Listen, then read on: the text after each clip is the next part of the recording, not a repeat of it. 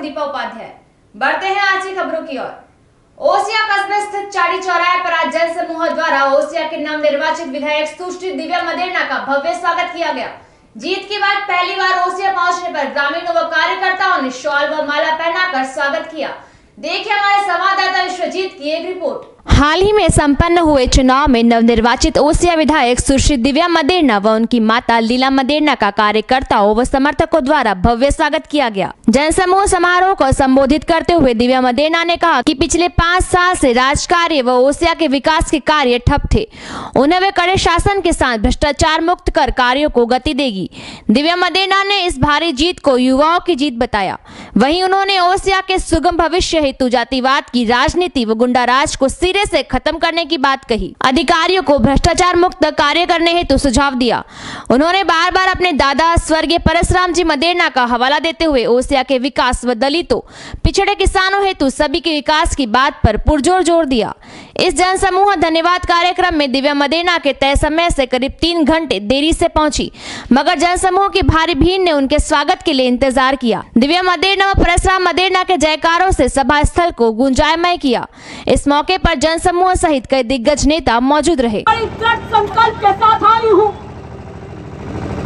में जातिवाद की राजनीति को बंद करूँ ओसिया में गुंडा बंद कर दूँ। ओसिया को भ्रष्टाचार मुक्त शासन दूँगी। काफिले पे पत्थर मारो तो कोई कम नहीं। लेकिन दलित भाइयों के घर पे पत्थर नहीं मारने दूँगी। इसलिए, लेकिन शासन ऐसे नहीं होता। शासन व्यवस्था को जो दीमक पाँच साल के अंदर लग गई नेता की नेतृत्व क्षमता की कमी से उसे सुचारू करने के लिए मुझे दुगनी कड़काई रखनी पड़ेगी। विश्वास दिलाती हूँ। जातिवाद की राजनीति खत्म करूँगी गुंडा राज खत्म करूँगी भ्रष्टाचार मुक्त शासन दूँगी और जिस परिवर्तन और आशा के साथ में आपने मुझे जिता कर भेजा है। मैं पाँच साल आपके लिए निस्वार्थ भाव से बिना भेदभाव के काम करूँगी आप आए आपका आशीर्वाद दिया। इसके लिए बहुत बहुत धन्यवाद। गलत राह पर फटकते नहीं। के युवाओं को आपराधिक गतिविधियों में शामिल नहीं होने दूँगी। ये बात भी साफ़ कर देती ओसिया के एक नए संकल्पबद्ध नए विकास की डोर के साथ योगदान दीजिए। मेरा साथ दीजिए। मैं पाँच साल के अंदर आपके लिए सुचारू व्यवस्था बनाए रखूँ।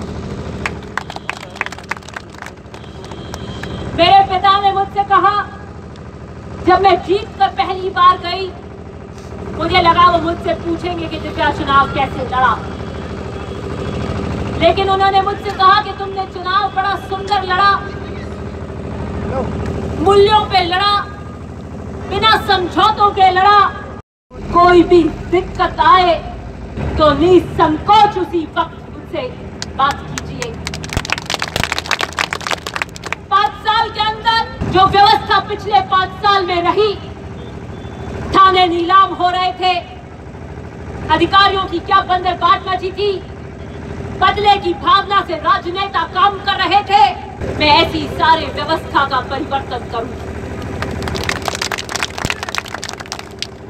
और बदले की राजनीति से काम नहीं करूँगी इसको बात साफ़ कर मैं मदेना साहब के सिद्धांतों की परिचारक बनूँगी और सिद्धांतों और मूल्यों के उत्सुक के उद्देश्य के लिए राज्य का परित्याग करना पड़े ऐसा संकल्प लेकर के आई लेकिन संघर्षों से पीठ नहीं, मोड़ी है न मोड़ूँगी।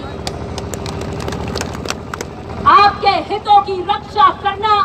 ताज़ा न्यूज़ अपडेट्स पाने के लिए हमारे चैनल को सब्सक्राइब ज़रूर करें और शेयर एंड कमेंट करना ना भूलें।